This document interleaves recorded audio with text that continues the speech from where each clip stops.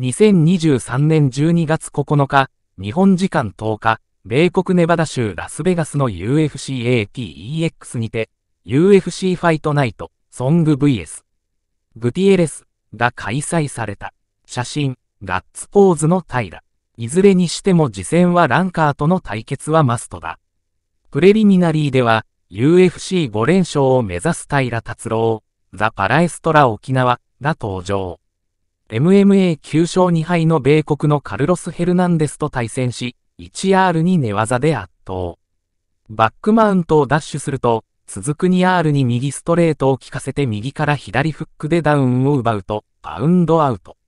2R0 分55秒 TKO 勝ちで、MMA 戦績を15戦15勝、UFC5 連勝とし、2014年5月に水垣武康が記録した日本人最多連勝記録に並んだ。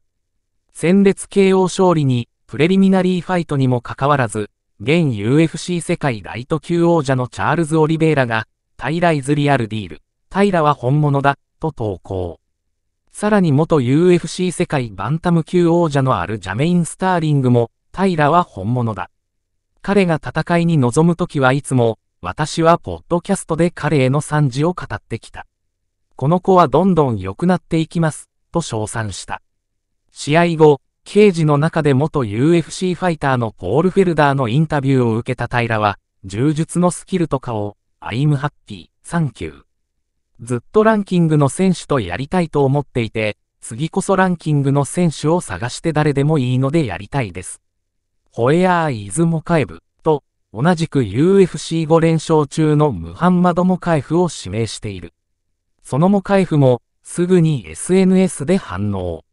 もし、アレックス、ペレスがダメになったら、平よ、代わりに出られるように準備しておけよ。ランキングが下の相手とやりたがらない他のトップ10ファイターと違って、俺はチャンスをやるぜ、必ず受けてくれよ、と返答した。平がオクタゴンでコールアウトしたモカエフとは、どんな選手なのか。